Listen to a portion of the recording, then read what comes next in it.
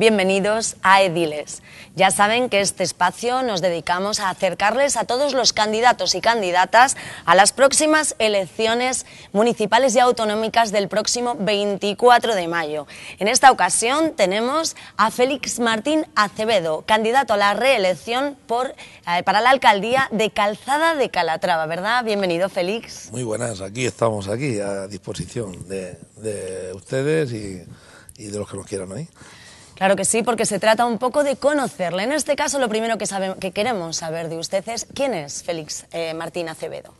Bueno, pues Félix Martín Acevedo es un ciudadano más de la vida, una persona mm, sencilla, una persona cercana, afable, amable y que le gusta hablar con la gente y le gusta oír, escuchar y pues a raíz de ahí no pues tomar las decisiones que tiene que tomar un agricultor de profesión, eh, que me encanta también mi profesión, ¿no? y a la cual, aún siendo alcalde, lógicamente, añoro y sigo pues teniendo una pequeña relación, no la que evidentemente puedo, porque estoy plenamente dedicado ¿no?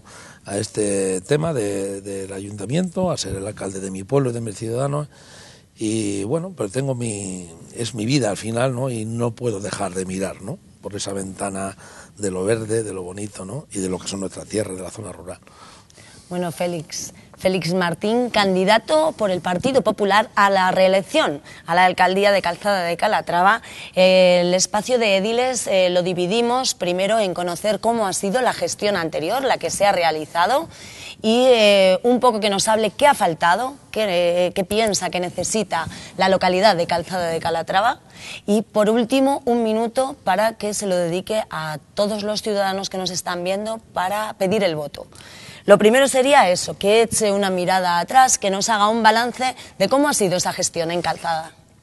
Bueno, pues eh, la gestión, eh, mirando atrás, mirando atrás, que eh, lo cierto y verdad que se ha pasado muy rápido, ¿no? El tiempo, la verdad, cuatro años parece, dependiendo para qué o para cómo, pueden ser pocos o puede ser mucho, evidentemente pero cuando está uno en su trabajo y, en, y con una ilusión, pues la verdad que se pasan, creo que a todos se nos pasan pronto, ¿no? Cuando estás haciendo uno lo que quieres, lo que te gusta, se pasan pronto. Pero claro, miras eh, secuencialmente y la gestión, como creo que entiendo que en la mayoría de los municipios, ha sido una gestión eh, complicada, complicada, muy, o muy complicada a nivel eh, humano sobre todo. Yo de esta legislatura y prácticamente de la pasada, no puedo decir grandes eh, cosas a nivel de lo bien. Me he sentido muy bien humanamente, a nivel persona, de tener la ocasión y la oportunidad de, eso, de ayudar a tus ciudadanos, a los que puedes. Pero claro, siempre te queda que, que hay mucha gente a la que no puedo llegar, no puedes llegar porque, porque los medios son los que son me quedaría un poco eso, ¿no? Un poco también con, hay que también añorar un poco con esa tristeza, pero sí me quedo con lo positivo de que mucha gente se le ha podido echar ese guante, ¿no? esa mano que necesitaba, o al menos parte de ella, ¿no? porque para eso estamos. Y me quedo pues con la cercanía y con el saber que he hablado pues prácticamente eh, con unos más que con otros, por suerte, por desgracia, pero prácticamente con, con todo el pueblo. Han sido años de, de mucha dedicación eh, personal, ¿no? Hacia la persona, hacia lo humano, hacia lo que mm, a lo que debe ser, ¿no? A, esa distancia corta, a ese eh, eh, saber las, las, las, tripas de la ciudadanía en el sentido de cuáles son los problemas que tiene, que evidentemente son muchos, como pasa en todos lados, y el paro sobre todo, evidentemente, eso es eh, la mayor lacra, y el, haber podido ir aplicando políticas, eh, sobre todo a ese tipo de, cuestiones, ¿no? Eh, en lo humano y en, y en lo económico. aplicar políticas sociales y el hacer presupuestos como nunca se habían hecho en mi pueblo, en Calzada de Calatrava, aplicando pues dinero y partidas dentro de nuestra humildad de, ayuda, ¿no? Eh, otras instituciones, lógicamente, también, pero con nosotros como ayuntamiento,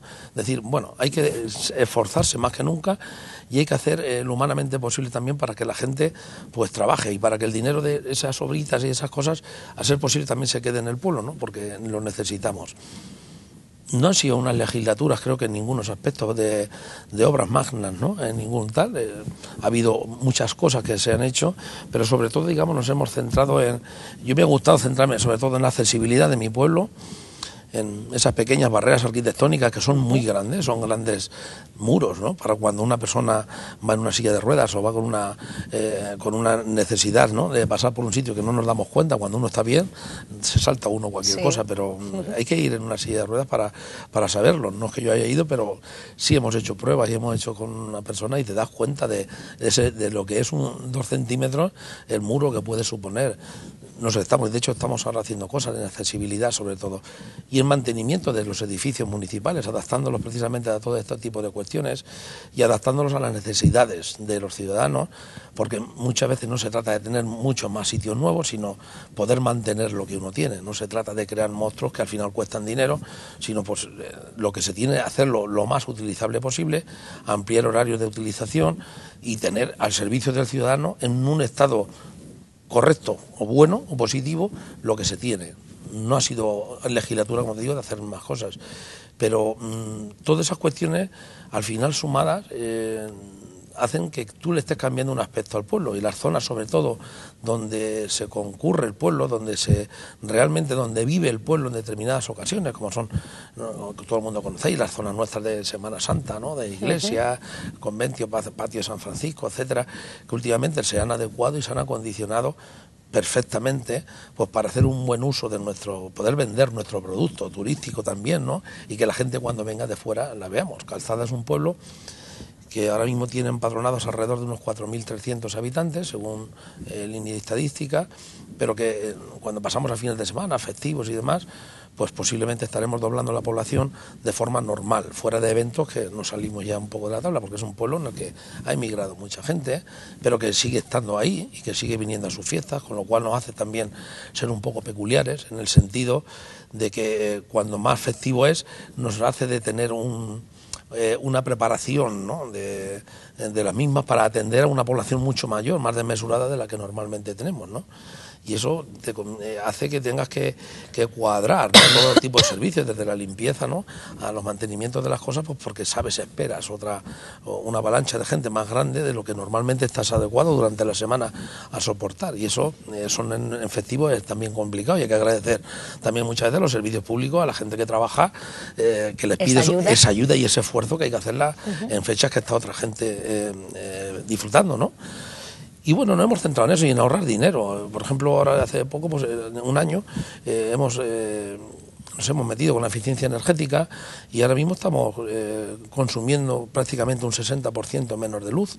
Hemos cambiado a, los genuros metálicos y se ha cambiado y se está bajando el consumo ya, de hecho, visto, creo que exactamente un 59%.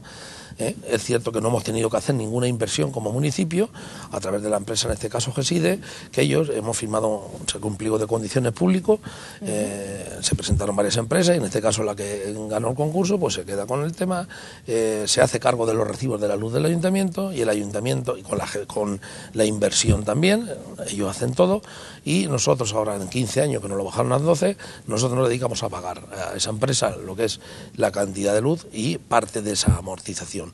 Nos sigue quedando sobrando dinero y pagamos la amortización, no metemos al pueblo ningún tipo de deuda ni tipo de historias, pero sí estamos reduciendo y estamos, eh, estamos en las emisiones de CO2 eh, estando en los niveles que nos marca la ley y todo el mundo contento, es decir, un cambio de imagen, ahorro, ahorro económico y todo el mundo. Y luz blanca en el pueblo, que al final no es esa luz amarilla de pálida, ¿no? que están en muchos pueblos, porque al final a mí no me terminaba, no me terminaba de gustar. Hay que ahorrar dinero y gastar eh, lo justo, donde hay que gastarlo y no crear. Y sobre todo, pagar deuda. Pagar deuda, deuda que teníamos eh, heredada de otras instalaciones, de ayuntamientos, de polígonos, de un mercado que se hizo, etcétera, en fin, de otras eh, corporaciones y que había que ir haciendo y que para nuestro pueblo es, pagar casi 200 millones de las antiguas pesetas, 1.200.000 euros que hemos pagado en estos últimos ocho años, pues oye, mm, es un esfuerzo importante y seguir manteniendo todo lo que te digo y dando más servicios incluso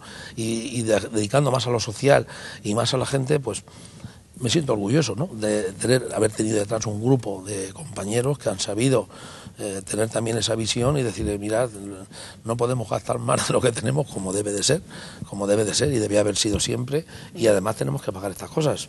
Vamos a ajustarnos y habrá vendrán tiempos mejores, que esperemos que vengan. Bueno, Félix, le hemos pedido que haga un balance, que sabemos que es un poco complicado eh, hacer un balance y, destacar todos los puntos. Después de este pequeño balance, ¿cuáles son lo que se quedó en el tintero de ese pasado programa y cuál es el futuro del programa eh, electoral del Partido Popular, la reelección a la alcaldía en Calzada de Calatrava? Bueno, pues siempre, mm, como bien has dicho, es muy difícil, son tantas y tantas cosas ¿no? las que eh, las que se han hecho, que sería muy difícil enumerarlas, ¿no? Eh, de hecho, cuando estamos ahora ultimando los programas, hemos estado ultimando los programas electorales, es muy complicado oye, también esto y también lo otro. Bueno, eh, a ver, mm, es complicado, es decir, muchas cosas, gracias a Dios, las que se hacen, ¿no? Para un pueblo como el nuestro, pero un pueblo muy activo, muy activo socialmente. Al final, yo no me, no me gusta ponerme metas, como he dicho antes, con de macro obras o de, hacer cuestiones. Yo, eh, como Felipe, me quiero poner una meta de seguir siendo eh, como soy, de tener un equipo que esté al lado de la gente y que sigamos trabajando para y por la gente, porque mientras que tengamos problemas con, con, muchas personas, con la ciudadanía y problemas que resolver de ese tipo, pues creo que tampoco es muy interesante meterse en otras cosas. Pero también nos gusta, eh, todos queremos tener un pueblo mejor, ¿no? Y de ahí seguiremos luchando en tener un pueblo, por lo que os digo, más accesible y más bonito. Hay que hacer un pueblo más bonito, que al final la gente que nos visite, los que estamos, que también vivimos de, ese turismo ¿no? interior, pues eh, hay que seguir trabajando para que cuando vengan digan, uy, pues calzada qué bonita está calzada, ¿no? Que hay una canción de, un paisano, de Nicasio Ruiz, que dice qué bonita calzada madre del alma, ¿no? Pues cuando a la gente venga le gusta ver su pueblo bello y bonito, y así nos lo dicen, y en ello tenemos que trabajar cada día. Pero bueno, hay metas que hacer y es cierto que tengo un objetivo particularmente modernizar mi pueblo también, que tenga las comodidades que puede tener eh, una ciudad o una más grande. Y en este caso estamos ya haciendo y adelantando ya terreno perdón, estamos adelantando ya bastante terreno y un proyecto muy importante para mí, creo que para el municipio, por mentar uno, destacar uno, será el llevar gas natural a Calzada de Calatrava para que los ciudadanos tengan un ahorro importante, un ahorro importante y una comodidad necesaria ¿eh? en nuestras casas y en nuestros hogares. Eso será un reto que ya os digo que ya tengo movido, ¿no? la Junta de Comunidades y con la empresa Redesis tengo movido ya eh, bastante, pero será una de mis metas, eh, posiblemente al principio de la legislatura, porque queden bastante, están quedando ya bastantes iconos clavados ya, chinchetitas clavadas ya para, para que no se mueva ese papel y no puedo asegurarlo hoy del todo porque al final yo hasta que no están las cosas seguras tampoco quiero tirarme más tal, pero mm, eh, por ahí eh, seguirán los tiros, porque me lo han pedido muchos vecinos, porque los costes de luz y, de gasóleo últimamente en calefacciones y en demás cosas eh, está suponiendo un gasto para la familia muy grande y creo que será una de las formas muy importantes de reducir el consumo familiar en ciertas historias. Habrá muchas más cosas, como es lógico, pero eso es uno de los, por decir, un proyecto ya más serio, más tal. Lo demás seguiremos estando con la gente, seguiremos apoyando nuestro tejido asociativo, por supuesto, más que nunca. Seguiremos estando con la cultura, que Calzada eh, ha pegado un salto cultural muy importante en estos ocho años y es conocido en toda la comarca.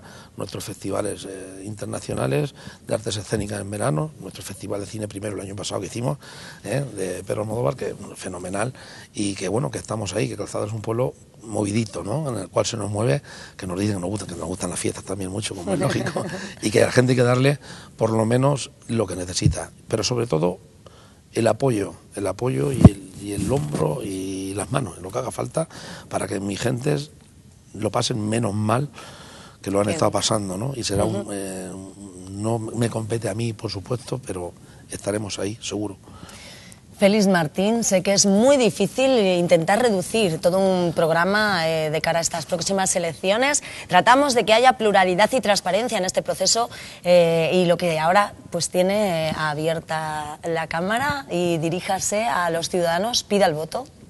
Eh, bueno, pues a mis ciudadanos calzadeños, ¿qué les voy a decir? Pues que saben, sabéis que tenéis en Félix, tenéis en vuestro alcalde actual, la persona que conoce y demanda las necesidades de nuestro municipio, que no se me caen los anillos, por supuesto, en pedir para nuestro municipio y para pedir en las instituciones que haya que pedir, que no quiero hacer promesas, ni soy demagogo absolutamente para nada, ni quiero entrar en decirle a nadie cosas incumplibles, incumplibles en ninguno de los casos, ni prometer trabajo para todos, que sería muy fácil, o de qué va a hacer uno. Hay que tener los pies en el suelo y Félix es el alcalde que tiene los pies en el suelo.